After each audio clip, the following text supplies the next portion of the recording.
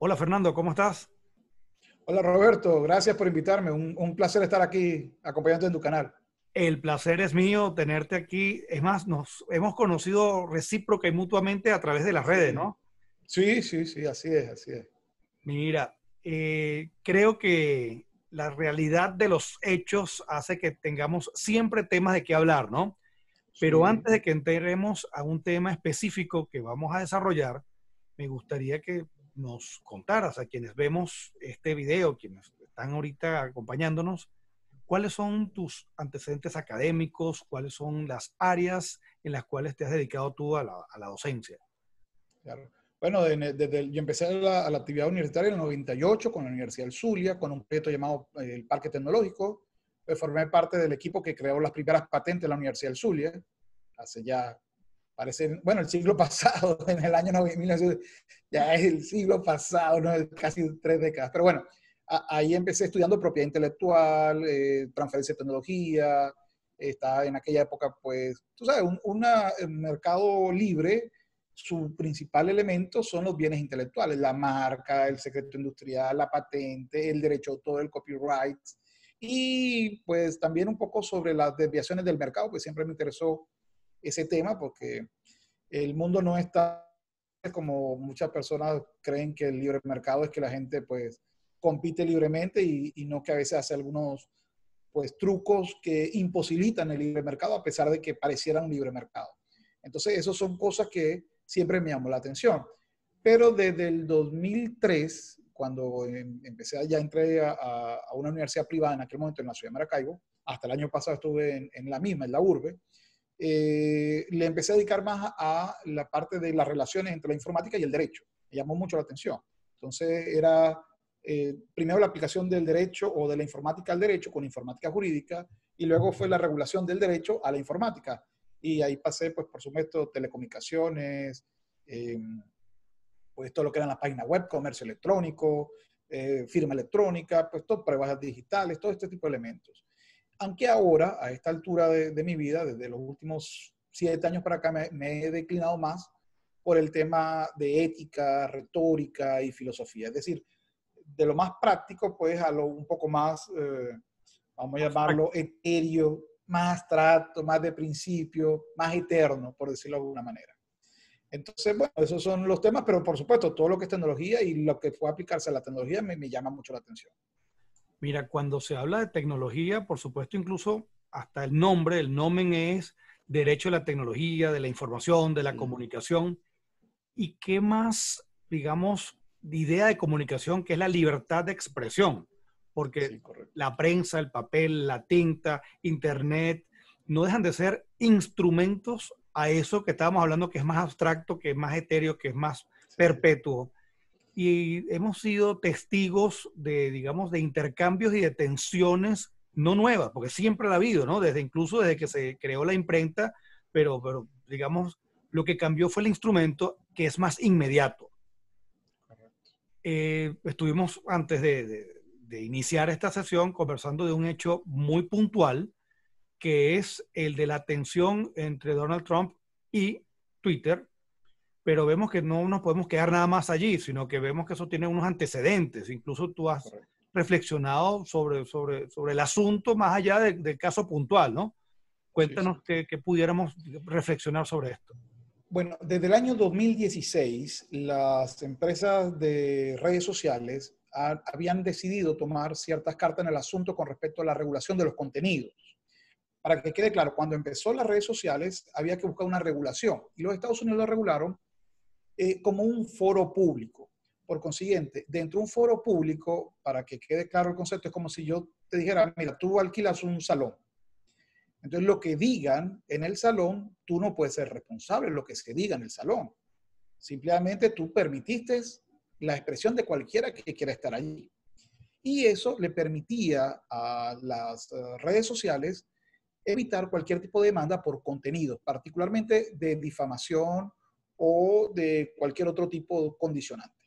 Sin embargo, del 2016 se empezó a utilizar, sobre todo en Facebook y en Twitter, más que en, que en YouTube realmente, aunque en YouTube también después fue subiendo mucho, eh, algunas visiones del mundo en donde si tú no estabas de acuerdo con la visión que planteaba una ala política específica en los Estados Unidos, los demócratas, pues posiblemente tu video era pues o censurado o bajado directamente o tu cuenta anulada o lo que se llama pues ocultada, que es el término del eh, banish, eh, no recuerdo ahorita el nombre en, inglés, pero bueno, el concepto de ocultamiento, o sea, que tu información no va a salir pública, sino solamente a tus seguidores. Por consiguiente, es como colocarte una especie de retén al acceso a la información que tú das. Conclusión, en vez de ser una especie de foro público, estoy colocando cápsulas de personas que no opinan como yo y dejo libre el foro para los que opinan como yo.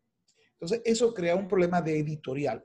No con respecto a si tengo derecho o no tengo derecho a expresarlo, porque el concepto es que tengo derecho a expresarlo, sino que como en los Estados Unidos se creó o se diseñó que la empresa era un foro de comunicación y el foro de comunicación pasa por el concepto que no utiliza filtros, es decir, no utiliza filtros ni pre ni post tú lo publicas y tú eres responsable de lo que se dice. Si el mismo viola leyes federales, de más está decir cualquier tipo de ley, bueno, no, quiero comentar, pero nos entendemos los delitos, pero para colocar uno que es muy, que pues vamos, es un delito muy rosa, muy, muy fácil, vamos a imaginar la difamación. Si yo aquí digo el sujeto X, Z o Y y lo expongo al escarnio público, pues yo soy responsable.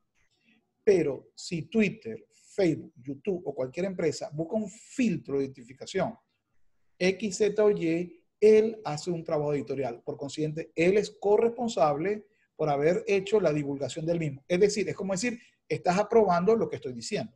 Por consiguiente, eres corresponsable en los Estados Unidos. En Venezuela no lo serías, pero en Estados Unidos sí. Y son empresas con sede en Estados Unidos. Entonces, en el 2018, hubo un planteamiento muy duro, muy, muy bueno, por cierto. Ted Cruz fue el senador, Ted Cruz, republicano, eh, fue uno de los principales promotores del mismo, en donde, bueno, fue Zuckerberg, fueron varios representantes, eh, fue un representante de Twitter, uno de Google, dos de Google, y pues ellos explicaban, por ejemplo, que ellos no podían permitir lo que se llama discurso de odio. Eso a, veces nosotros traducimos muy mal. Por ejemplo, en español eso no, no aplica, nosotros no tenemos ese concepto de discurso de odio sino son más consecuencialistas en el sentido de que no, vemos si la intención del discurso, sino la acción prevista. Es decir, eh, en los Estados Unidos en los últimos cinco años he visto, por ejemplo, que se está tratando de cambiar el concepto de hate speech, es decir, del discurso de odio, por un concepto mucho más real a nivel jurídico. Yo no te voy a demandar, o sea, no puedo castigarte por un sentimiento que tú tengas. Si tú odias a alguien, yo no te puedo castigar por eso, es absurdo. Además que no puedo saber tus sentimientos, no hay un centinómetro para saberlo, pero sí puedo hacerlo por discriminación, que es un hecho externo y notorio. Si yo te discrimino a ti porque tiene una pigmentación de piel específica o porque tiene una idea política o por otra, entonces ahí sí es eh, fácilmente identificable a nivel probatorio como abogado y además es censurable legislativamente hablando. Pero la parte interna no, no es posible. Entonces, el elemento principal ya Porfa, el sonido. Ah, tengo al hijo ahí jugando con la tabla. Este, y se fue el hilo. Bueno, conclusión. Eh, hace tiempo se viene discutiendo, incluso en el 2018, la Comunidad Europea sacó la directiva, o bueno, sacó el concepto de lo que iba a ser la regulación al derecho autor comunitario en redes sociales. Y el concepto tenía nombre y apellido. Vamos a regular a YouTube para que tenga que sentarse a negociar con los derechos de autor con los representantes de derecho de autor de Europa. Y YouTube sacó una campaña que se llamó el artículo 13, porque el artículo 13 de la directiva que se aprobó decía que si ellos tenían un sistema automatizado que permitía explorar el contenido y decir, lo apruebo o no lo apruebo, tú eras responsable de lo que se publicaba. Si tú no tenías ese sistema, entonces no pasaba nada. Tú no eres responsable, yo voy en contra de los que publican. Pero como tú lo tenías, es decir, tienes la tecnología y la estás usando, no importa para qué, pero la tienes, entonces, si la tienes y no lo haces para, mm, vamos a decir, defender mis derechos de autor, pues te voy a demandar a ti por cada vez que se viole, porque estás en la obligación de defenderlos. Mira, o, de no permitir que los violen. Claro. Eso se llamó el artículo 13 y se basó en eso. Y lo dije hace dos años. Esto trae como consecuencia no solamente derecho de autor, sino que más pronto que tarde vengan las obligaciones políticas, los resultados políticos y eso va a explotar en Estados Unidos. Dos años después está esta acta ejecutiva que creo que es un antes y un después de las redes sociales. Temo que va a pasar con las redes sociales desde hoy en adelante. Mira, la realidad americana, por supuesto, es una, y más en un momento en la cual, uno, hay una pandemia que no sé cómo, cómo consideras tú que se haya abordado desde las autoridades americanas. Por otro lado, es año electoral. Sabemos cómo es muy sensible el elector norteamericano en, en fase de, campaña, porque digamos que esta es la línea en la cual se llevan esas campañas. O sea, estas campañas son que si los correos, que si las relaciones personales, que si eres, te gusta esta comida y no aquella, que, etcétera. Sabemos que la, la, las campañas son hasta, hasta jocosas para la manera como uno la entiende desde nuestra perspectiva. Pero también tienes otra realidad, la venezolana, por ejemplo, que cuando dicen, bueno, vamos a regular las redes sociales.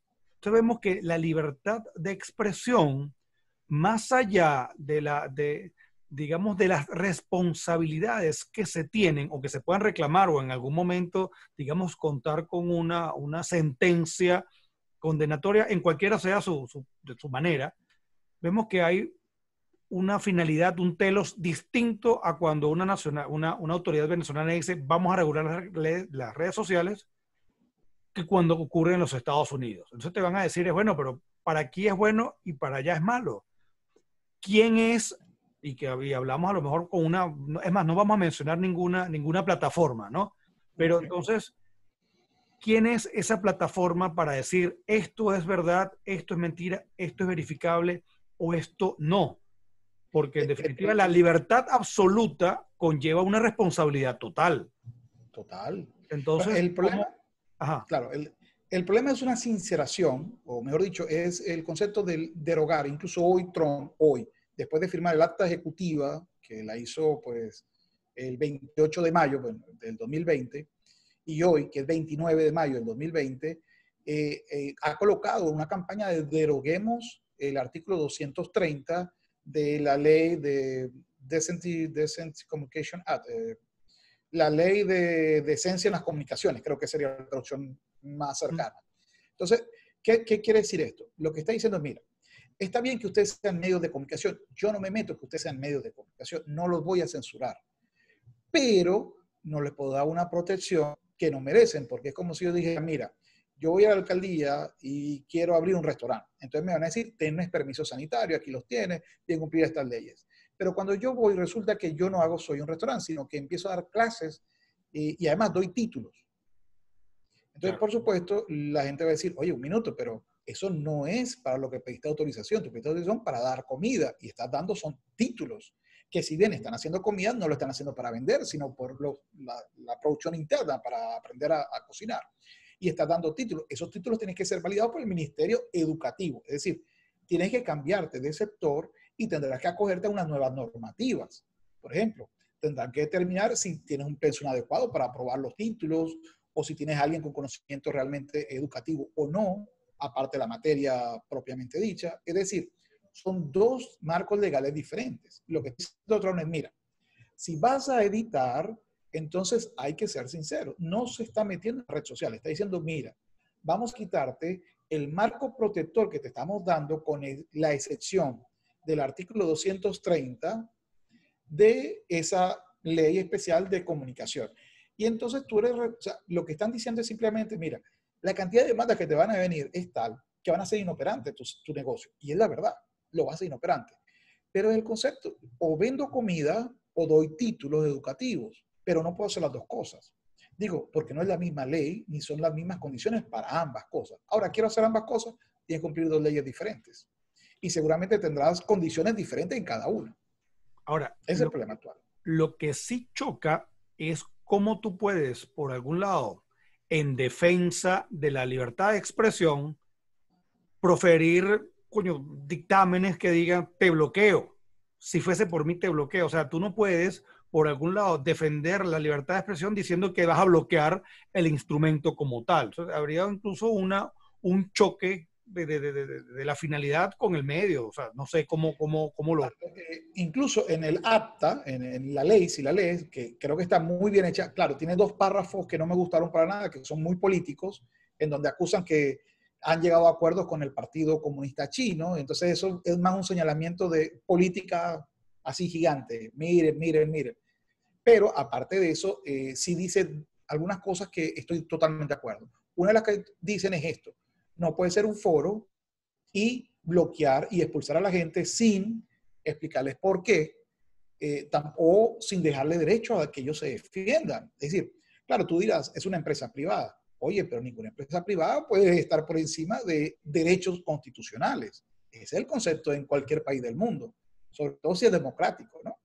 Entonces, ese es un elemento que me parece mucho. Pero otra cosa que me gustó mucho de lo que dice el documento, el acta ejecutiva de Trump, es que tú no puedes cambiar los términos una vez que se ha ejecutado el contrato como si no hubiera pasado nada, porque estás cambiando el sentido. O sea, lo vi, lo aplaudí, porque es verdad, las, las plataformas modifican una vez hecho el contrato, es decir, ya, ya soy usuario y tengo 250 mil suscriptores, es decir, he gastado tiempo, le he dedicado, he hecho un esfuerzo, hasta he invertido dinero, por ejemplo, o he invertido horas hombres que se pueden calcular, y de repente tú dices, mira, han cambiado las, y ahora el tema a, ti, ¿tú, que tú hablabas? Bueno, yo hablaba de las exploraciones occidentales en Egipto. Ah, bueno, no, nosotros ya no vamos a tocar el tema de Egipto, eso está prohibido y expulsado y borrado absolutamente todo lo tuyo y punto. Entonces, ese tipo de cambios que afectan a los usuarios porque le cambiaste el contrato una vez comenzado y que no tengan consecuencias, algo que tiene que pararse. Digo, esto tiene consecuencias. Entonces, es una de las cosas que te dice Trump en el acta ejecutiva. Te está diciendo, mira, Tú no puedes cambiar alegremente y decir, mira, hoy puedes hablar de esto, pero mañana no puedes hablar de eso. O mejor, decirte, y eso es lo que mm, a la final me desvié, que era que uno de los problemas que tuvo Zuckerberg cuando fue interpelado en el Senado fue cuando le preguntaron, mire, disculpe, ¿y usted cómo define discurso de odio? No, eso es muy complejo. Bueno, yo lo voy a decir como lo están definiendo. A todo aquel que se oponga a la terminación del embarazo, usted cree que es discurso de odio y lo banea. Y ojo, eliminaron a, personas que están a favor, católicos, que están a favor de la vida de Facebook con más de 2 millones de suscriptores. También eliminaron a aquellos que dicen, mira, yo no estoy de acuerdo con el matrimonio entre iguales, por ejemplo. Y ojo, lo eliminaron además de forma bastante grosera, porque dice, si tú no estás conmigo, eres fóbico. Claro. Es una patologización del otro. Es decir, yo no puedo hablar contigo porque tú estás desviado. Es, eh, eh, decir, es un nivel de, descarmento al discurso público. No, no, ¿qué pasó?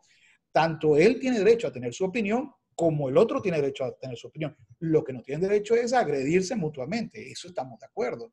Y menos derecho tiene a que el tercero venga y me diga, ¿sabes qué? Tú no tienes derecho a hablar y te me vas de aquí. Y luego que me vendas que eres un foro público, porque no lo eres. Eh, es como el profesor que dice, mire, yo no tengo ningún tipo de privilegio, salvo con ustedes tres que ustedes ya tienen 20.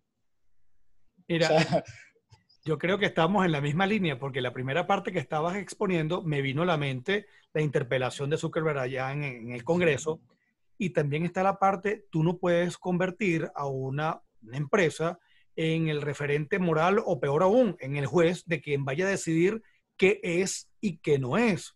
Porque en definitiva, tú pudieras decir lo que tú quieras, pero estás asumiendo la responsabilidad e incluso eso va a ser la prueba. Ahora, que reviste carácter penal o no, que tiene unas consecuencias, este, digamos, una dimensión, eh, digamos, que pueda ser reclamable por difamación, porque yo te puedo decir es, mira, qué fea te queda esa corbata que te pusiste en la foto que aparece en el matrimonio. ¿Es eso de verdad accionable? Por supuesto, a lo mejor aquí en este caso es propio. Claro. Entonces, Por eso, lo que sucede es que la batería de demandas posibles a estas empresas que mueven tanto dinero, en vez de decir, nuestra tradición es que no vamos a obtener mucho dinero de haciendo este tipo de demandas, daño moral, eh, eh, es, no, no, es nuestra tradición. Incluso yo diría que ni de España ni en ninguno de nuestros países de Europa continental digo, de América Latina, etcétera. Pero en Estados Unidos sí, porque no tienes un límite de qué tanto puede ser la pena. Y si son 35 mil demandas al mismo tiempo, los costos operativos de defenderte son imposibles. Es por eso que creo que van a, el concepto de eso es imposibilitar la actividad comercial de las empresas. Digo, si no se ajustan pronto, porque además quiero decir que el acta, el acta ejecutiva le dio 60 días para hacerlo. Si seguían eh, haciendo este tipo de discriminación por cuestiones políticas o por opinión de ideas, eh, pues ya no iban a tener la protección de este artículo 230. Y además, y esta parte sí ya estamos acostumbrados nosotros, porque ya esto es política dura, es que aquellas empresas que tengan este tipo de discriminación no van a recibir un dólar en publicidad de ninguna agencia federal que esté bajo el cargo de Trump. E, esto no es nuevo, esto de presionar a, algún medio a través de, pues no te, no te pago publicidad, lo conocemos todos, eso no es nuevo. Pero es nuevo porque me lo está diciendo, mira, no es porque estés dándole espacio a los demócratas, es porque me lo estás quitando a mí. Si tú los pones a los dos igual, yo te sigo dando dinero. Pero si tú me lo das al otro, que te, que te financien los demócratas. Eso es prácticamente lo que dijo el acta ejecutiva. Muy, muy clara y, bueno, muy política.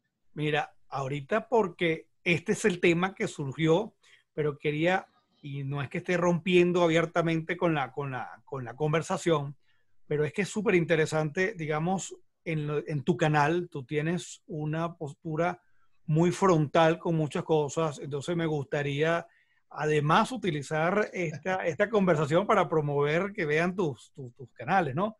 Ah, y no sé, no he visto si has tratado a nuestro amigo Alexis de Tocqueville, que casualmente hoy, casualmente hoy, con todo esto que estaba pasando, yo recuerdo haber subrayado el, la, la, la, el choque que le dio cuando el primer periódico que, que, llega a los Estados Unidos y era como se referían en contra de Jackson, ¿no?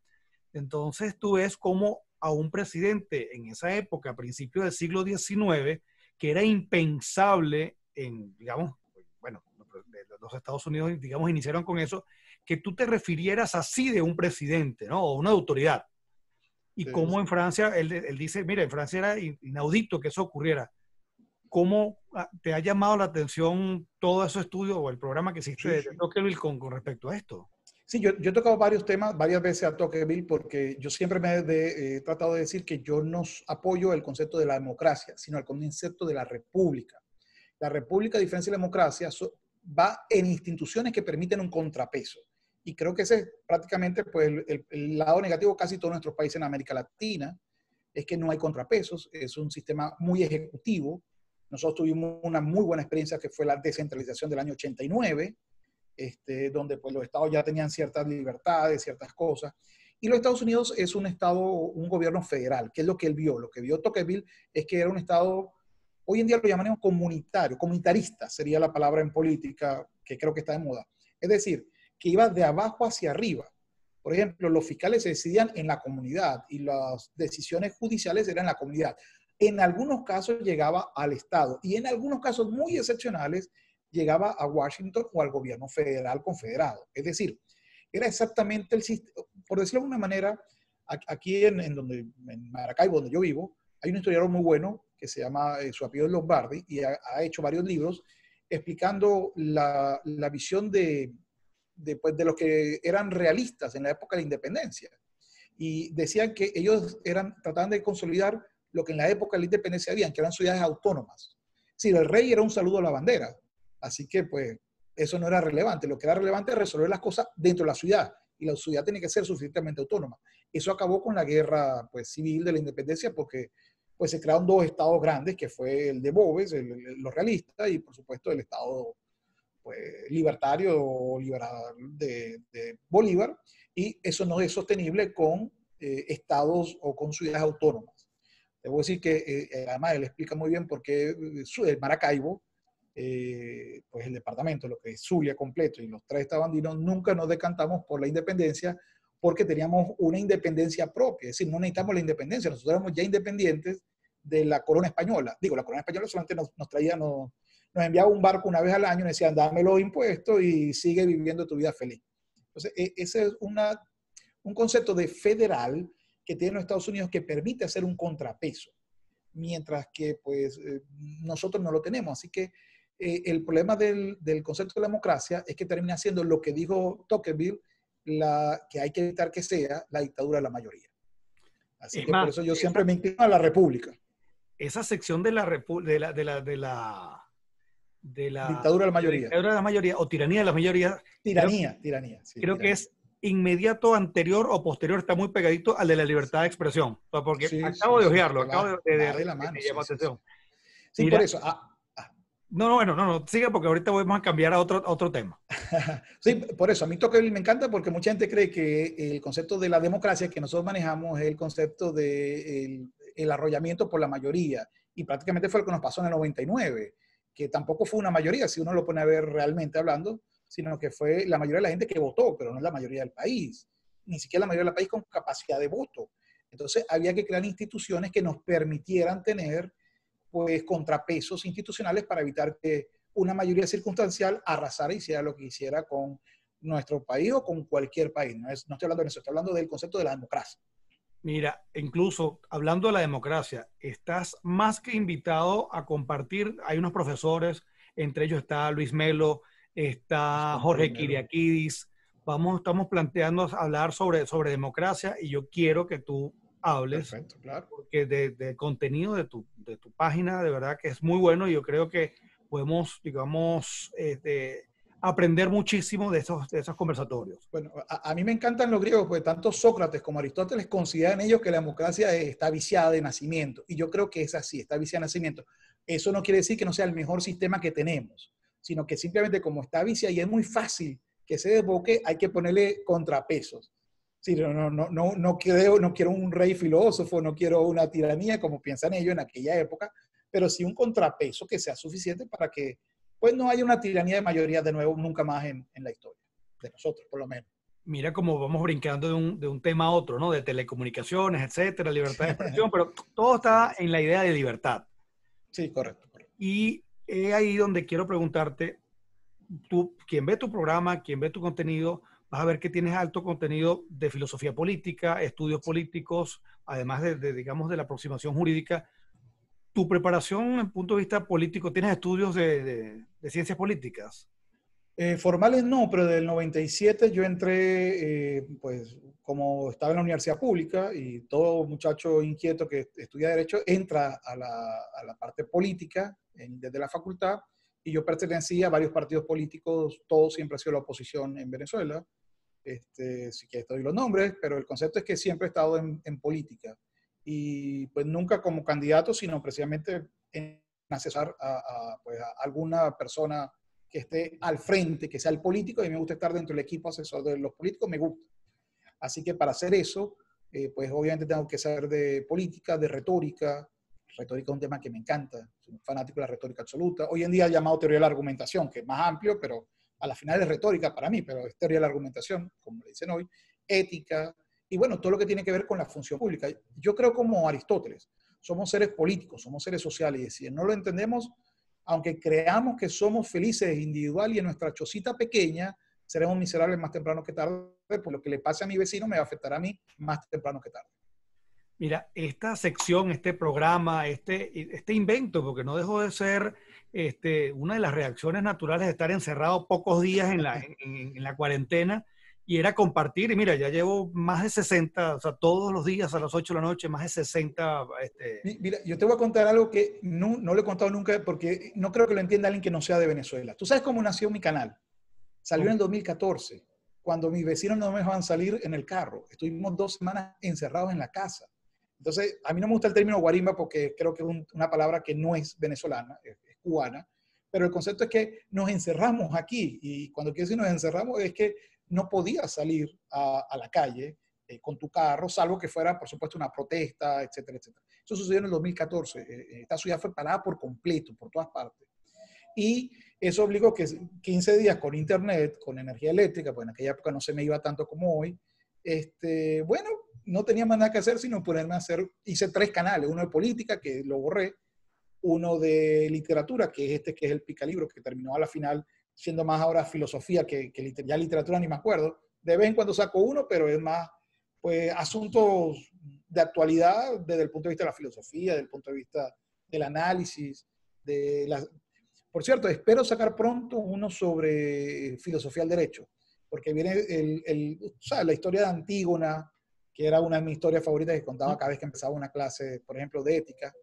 Eh, ¿Qué pasa si, si existen dos tipos de leyes, la ley positiva y la ley natural, la ley de los dioses? Hay una ley natural, hay una ley de los dioses mayor que la ley humana. ¿Es esto correcto? ¿Esto es correcto? Entonces siempre contaba un poco la historia de Antígona y nos la leíamos un poquito en clase. Y el concepto es que aunque tú creas que, eh, como Kelsen, que eres positivista absoluto, eh, hay que entender que la, la, experiencia histórica es suficiente para decir, no, ya va, tú no tienes la libertad de decir lo que quieras. O mejor dicho, sí, pero no, mi libertad es no tengo que obedecerte.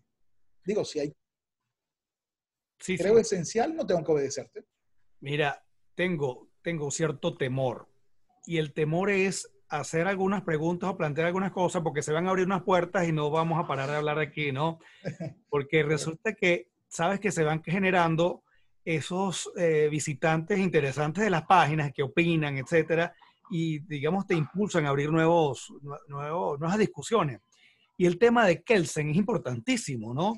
Hay quienes lo, lo, defienden a ultranza de tal manera que pudieras incluso decir, mira, vale, este, no podemos ver, la, famosa pirámide nos las meten aquí y es una de las maneras en las cuales se ha, bueno, Carl Schmitt se usaba un positivismo muy, muy duro, muy radical. Y también pueden decir, mira, Kelsen es lo peor que ha pasado al pensamiento jurídico porque te ha, digamos, creado unas tiranías también del derecho.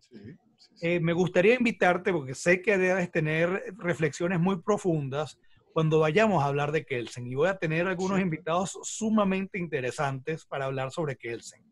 Yo te adelanto algo. Yo siempre, incluso desde la época estudiantil, estuve en contra de la norma hipotética fundamental. Eso no me, no me parecía. Eso es el, el, equivalente a decir, bueno, no quiero meterme con la creencia de nadie, pero es el equivalente a decir, va a venir un genio y es el que va a regular. Eso no tiene sentido. La norma hipotética fundamental no tiene sentido, desde mi punto de vista. Pero por otro lado, tienes una, una idea de derecho dúctil, tan dúctil y tan maleable, que también por vía interpretativa puedes llegar a lo que sea, ¿no? Por eso es que creo que el derecho tiene que surgir como surge el problema. ¿En dónde? En la sociedad. Por eso es que yo creo, hay tres cosas de los norteamericanos que yo sí quiero copiar. El fiscal, es decir, la persecución penal tiene que ser electa pueblo por pueblo y no desde el centro. Además, al ser electa, responde a los que votaron y no a un partido político. Ese es el concepto. También creo que la decisión final tiene la población y no el juez. Es decir, yo sé que, en, por ejemplo, en nuestros países un jurado es casi imposible de formar. Eso es mentira. Digo, lo, lo viví. Se tardaban dos años y faltaban dos jurados, tres jurados. Siempre era complicado.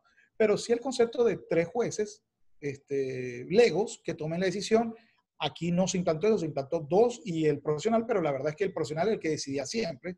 Así que no, que sean tres jueces legos y el juez profesional el que debe de es asegurar el procedimiento y sancionar ya según la decisión. Pero si es culpable o no, o si es condenable o no, que me lo diga la población. Es decir, que, que vayamos a, a, debates reales. Porque si no, lo digo por experiencia, por las experiencias propias aquí, pues, en nuestros países porque si no el, sistema será siempre la cenicienta, pues no representa a nadie. Ni representa a la nación, ni representa a la comunidad. En cambio, si representa por lo menos la comunidad, tiene gente que te lo defiende y que lo acata. Aquí en Maracaibo tenemos una, situación muy particular con los guayú. O sea, que aquí en el Zulia los guayú son, bastantes, son, son importantes. Entonces, cuando uno tiene un conflicto con un guayú, muchas veces uno tiene que preguntarse, ajá, ¿lo aplicamos por las leyes alijunas, es decir, por las leyes normales, o nos vamos a la ley guayú? Porque, ojo, funciona la ley Guayú, es decir, no vas a un tribunal y resuelves a través de palabreros, porque es un elemento cultural, porque así ha funcionado y porque lo respeta. Además, tienen un sistema para evitar que no lo respetes. pero, tienes una, convicción sobre el derecho, o sea, tienes una convicción dura, dura, dura. Y, y, es que si no, pues vas a tener a tu familia en contra, digo, guayú. Entonces, es una experiencia tan, tan, tan vivida que es difícil decir, oye, lo correcto es que el derecho salga de abajo hacia arriba y nunca de arriba hacia abajo. Ese para mí es la, base fundacional del derecho. Bueno, pero es que hay muchos riesgos y ese es, bueno, y el temor que yo te decía, porque entonces si nos vamos, la experiencia de los escabinos vimos que no, no funcionó, no, jurados, etcétera, pero entonces, ¿dónde queda el análisis racional de la prueba? Entonces no va a ser prueba en cuanto a verificación de hipótesis sino que va a ser algo totalmente clientelar, pues, porque y ya sabemos cómo, cómo puede la balanza de la justicia moverse de un lado a otro, no por convicción de los hechos, sino por otro tipo de, de, claro, artides. claro, lo que pasa es que aquí viene la pregunta. ¿La mujer del César tiene que ser buena o parecerla? Entonces, eh, eh, como el concepto es que la respuesta lógica es las dos cosas, porque Tienes que ser buena y parecer buena. Entonces, el sistema, hay, que buscar un, equilibrio en donde desde la comunidad, la comunidad se sienta representada por la decisión del juez. Y no que sea, y por supuesto, eso no quiere decir que el juez sea libre, porque va a tener el marco normativo que viene del Congreso o de la Asamblea hoy en día. Es decir, tienes que tener unas limitaciones, un marco que te limite, pero también de tener un nivel capaz de que te represente la sociedad. Que, por decirlo de alguna manera, pues hay, hay, hay, cosas que la sociedad te puede perdonar en una ciudad, pero en otra ciudad no te la va a perdonar. Entonces, ese tipo de cosas se tienen que ver reflejadas. Digo, para que la gente se identifique con el sistema judicial, si no, pues va a ser una cenicienta el resto de la vida. A nadie le va a importar. Mira, otro de los temores que yo tenía es que, bueno, van a quedar muchos temas en el tintero, pero bueno, para esto está también que podamos compartir otro tipo de material. El, el nombre de esta sección, de este trabajo, que no sé cómo, por qué salió del libro tuyo, nos lo vas a decir, es el estado del derecho. Es decir, de una manera crítica, evaluar y autoevaluarnos de cómo es el derecho en su estado, como lo estamos viviendo, y los riesgos y, digamos, los, los, los retos que vamos a tener. Entonces, me gustaría que nos dijeras cómo ves tú el estado del derecho, tanto la realidad venezolana, la realidad regional, por ejemplo, la, parte de Maracaibo, y cómo lo ves tú en cuanto a una realidad ya más global, ¿no? Y más con ocasión de todos estos que estamos atravesando todos del, del coronavirus. Bueno, yo creo que hay una crisis mundial con respecto al concepto de derecho, no es solamente en nuestros países, solo el, principal problema es el concepto de la democracia representativa, creo que llegó a una etapa, es un, es un sistema de 200 años, eh, y, bueno, fracasó. Yo creo que el sistema representativo no representa a nadie o la gente no se siente identificada, con algunas excepciones. Por ejemplo, Estados Unidos hoy en día está luchando porque el sistema no, no tenga cambios, pero hay una parte importante de la población que no se siente, por ejemplo, lo que está sucediendo en la ciudad en los Estados Unidos, que es unas manifestaciones violentas, no es más que el concepto de que no te sientes representado en el sistema. Eso no se daría si tú te sientes que el sistema te escucha y dice, bueno, ok, sucedió este delito grave contra una persona independientemente de su piel, de su color, y entonces vamos a mover a todo el Estado para evitar que eso quede impune. Digo, porque es inaceptable esto, pero como tú sientes que esa no es la respuesta y que no la vas a tener, si sientes un nivel de injusticia, pues tú vas a reaccionar violentamente. Entonces, ese tipo de crisis que tal vez se ve, pues ah, se ve más hoy, precisamente por las redes sociales. Digo, todo el mundo decimos, no me gustan los políticos, no creo en ningún político. Discursos como el de Milley, discursos como los libertarios, que están muy de moda, que creo que son muy inocentes, pero están muy de moda, es una visión en la cual dicen, y estoy de acuerdo con eso, que hay que ver la división actual política no puede verse ya como ni clases, ni como tribus, ni como géneros, ni como ninguna de estas divisiones que pues a nosotros venezolanos, salvo la política, creo que es lo que yo siempre digo, mira, a, mí me encanta Venezuela, o me encantaba la República de Venezuela que yo conocí, porque aquí no había división real, ni racial, ni, ni social. Es decir, el rico y el pobre compramos la misma harina pan, la misma bebida polar o regional en mi ciudad, sí, la misma. No es que uno comía de una cosa y el otro comía. O, como por ejemplo sucede en, una, en un país que me encanta, que es Colombia, por ejemplo, allí tienes una tarifa porque tú eres pobre y tú tienes una tarifa porque eso, es una discriminación que para nosotros no, no tiene sentido. Y no existía, eso, ¿no? no, es, que, es, que, es muy fácil. Incluso a mí, a mí incluso me incomoda porque yo antes en YouTube, cuando decía negro, me colocaban que era una palabra que no debía decir. Yo le digo, pero ¿por qué? Eso, negro es mal, es, mal visto en Estados Unidos, en inglés. Pero en Venezuela decirle negro a alguien no, tiene, es como decirle a alguien gordo. Oye, no te estoy diciendo gordo porque sea gordo, sino por cariño. Claro, te lo digo es por cariño. Además, ¿quién no ha visto un negro como yo y se pone a bailar y es cuestión de tambor? O sea, e, ese tipo de, de, de, darnos mala vida por, por esas, esas cosas no tenían sentido. Primero porque yo siempre digo, a mí me encanta la canción de, de José Luis Rodríguez, se me cayó la cédula, del Puma, cuando cantaba Pavo Real, porque él decía, mira, blanco con blanco leche con espuma y negro con negra noche sin luna. O sea, a mezclarnos todo y que nuestros hijos salgan con plumas de Pavo Real. Bueno, yo creo que todos nosotros somos Pavo Real. Es decir, aquí no hay nadie que no esté mezclado. Así que no tenemos esos problemas de otras partes del mundo en cuanto a pigmentación, en cuanto a clase social. Hoy hay una división política grave, sí, sí la hay. Todavía creo que la tenemos, pero ojalá y podamos resolverla en algún momento y ojalá y podamos resolverla bien, incluso, incluso, y ahí también oh, es tema, es tela bastante de cortar, y esa fue creada, esa no es genuina, esa diferencia incluso política es fomentada con una finalidad. O sea, sabemos que no es así. Mira, este, Dos minutos. o sea, después, después de la tercera cerveza, claro, ¿qué me importa? Vamos a seguir jugando dominó, no me importa. esa es la realidad del Caribe. A mí me gusta el Caribe por eso. Aquí nadie se, se lo toma muy en serio. Por eso es que hablar desde las realidades, desde cuando no las conoces, y ya te cuenta, somos vecinos, o sea, Colombia y Venezuela, y ya te cuenta cómo, a pesar de que estamos, digamos, a tiro de piedra, como dicen, este, no, es un mundo de diferencia, es un mundo, es un mundo completo de diferencia. Entre Maracaibo y, Margarita, Caracas, Caracas y Maracay, o sea, date cuenta cómo, cómo la realidad nos cambia, ¿no?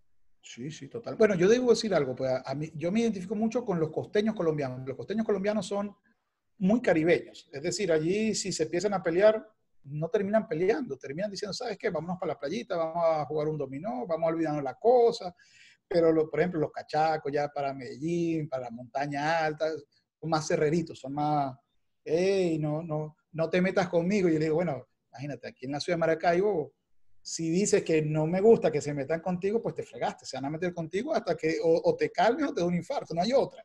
Entonces son, son vivencias reales que el derecho tiene que verse reflejado en esas cosas. Por ejemplo, eh, para colocar algo, no sé si te acuerdas del camaleón, de la cosa esta de que estaba un rato con el gobierno y otro rato con la oposición, ¿sí? del nacional. Sí. Bueno, eso es como decir que, que, alguien, porque te mame gallo, lo vas a llevar a, a, a, un, a un, medio, a, una demanda por ninguna información. Es, es, que el juez se iba a reír, el secretario se iba a reír en la cara tuya, pero te volviste loco. O sea, ¿en serio vas a demandar por esta tontería? Es decir, era, e, es una especie de nivel que no puede aislarse. Es decir, no importa lo que la Asamblea crea, no importa lo que el Congreso crea, la realidad es como hoy decirte, mira, voy a crearte la ley para que no se vuelva a ir la luz en la ciudad. Pues eso, eso no es cierto, no, no, responde a la realidad ni a la comunidad en la que estamos. Mira, pero tal vez alguien bien nos dijo, y bien caraqueño y venezolano que era, bochinche, bochinche, esto es puro bochinche. O sea, cuidado si esa esa aproximación jovial de que, bueno, aquí nos reímos de todo, es también bastante la causante de muchas de las cosas que estamos padeciendo. Bueno, yo sí digo dos cosas. Este, en lo personal, yo prefiero el, el, bochinche bochinche a lo que, por ejemplo, en el sur, estuve recientemente en el sur visitando Chile, Argentina y Uruguay, y yo siempre iba diciendo, no, la, la, derecha no es tan mala. Y no, no, eh, las dictaduras del cono sur son de derecha y fueron horribles, horribles. Es decir, la dictadura de nosotros quedaron en pañales, en pañales absolutos. No tiene nada que ver con... Y, y, y, lo que sucedió en Colombia y que todavía sucede, aunque ya está mucho más calmado de la guerra civil, es una cosa que nosotros no tenemos ni siquiera la más remota idea de lo duro que fue eso. Entonces, eh, ah, yo prefiero que sea bochincha, que sea eh, pues que nos armemos combate y nos demos batazos, de verdad. Pero prefiero reírme con alguien que caerme a batazo con alguien, mil veces. Yo sé que cuando terminemos de, de, esta conversación voy a quedar ansioso de seguir hablando otras cosas, ¿no? Porque el tema, lo importante es condenar las tiranías cualquiera que sea, ¿no? Entonces, el hecho de decir, bueno, este, ahora me toca a mí ser tirano porque ya ustedes fueron tiranos una vez. No, yo creo que, que, que Mira, ya, digamos, cerrando lamentándolo mucho.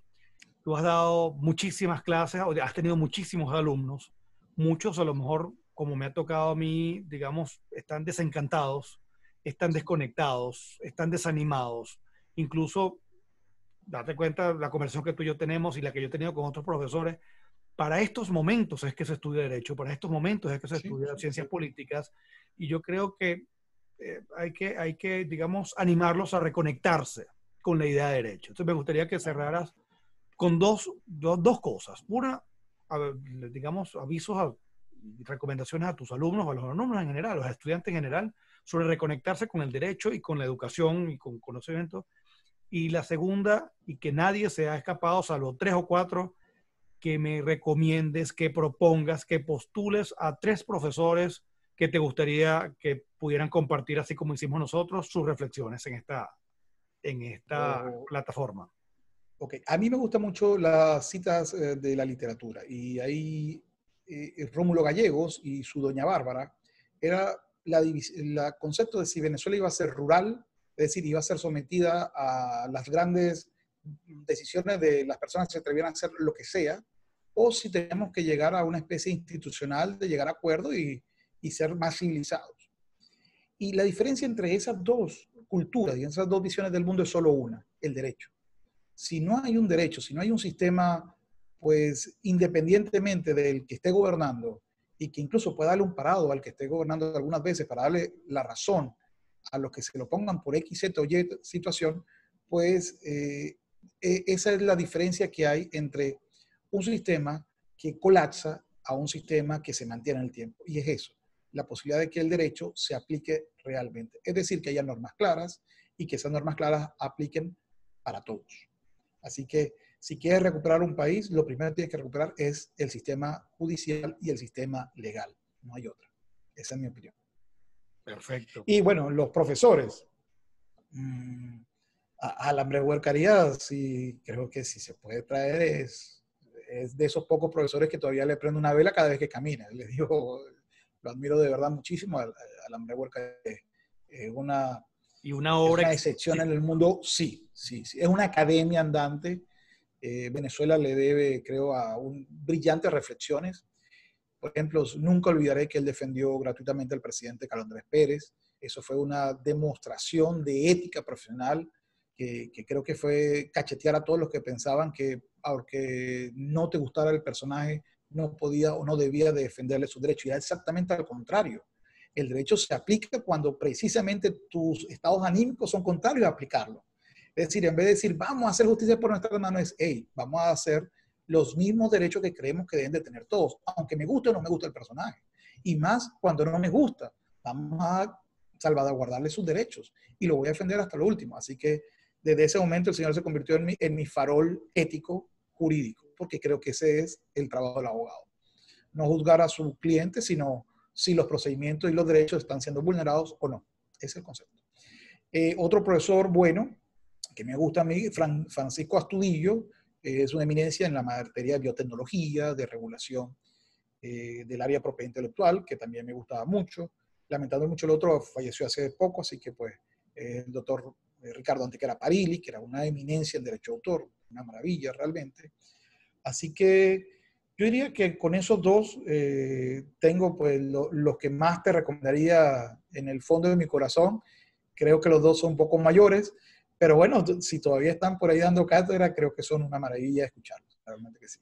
Haremos todo lo posible por, por contactarlos. Al profesor Gruber he tenido oportunidad de intercambiar algunas ideas y siempre es eh, enriquecedor cualquiera sea de las materias que él desarrolla. Y además tiene una, una actividad, digamos, incansable.